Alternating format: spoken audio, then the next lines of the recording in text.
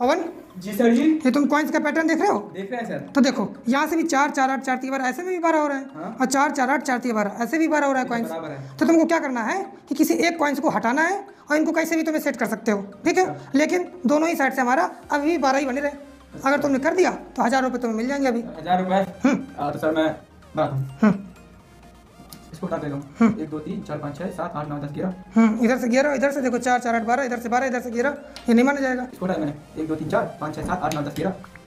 एक एक दो तीन चार पाँच छः सात आठ नौ दस ग्यारह। हो तो गया ये तो दोनों तरफ़ से ग्यारह हो गए ना? जी बराबर तो है। नहीं बराबर नहीं हमने बारह कहा था दोनों साइड से बारह ही रहे।